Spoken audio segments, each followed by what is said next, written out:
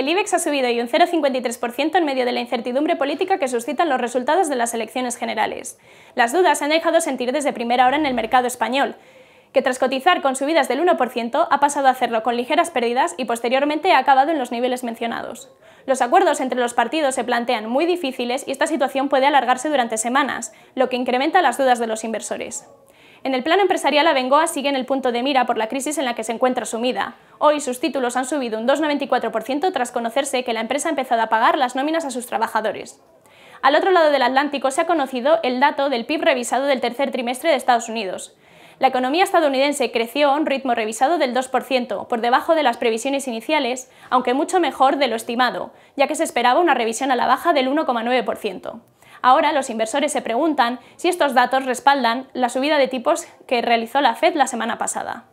José María Rodríguez, analista técnico de Bolsamanía, destaca que pese a las subidas de hoy del IBEX, el aspecto técnico sigue siendo muy malo y que pase lo que pase, el año está hecho para el IBEX. A falta de seis sesiones, acumula una caída del 8,40%.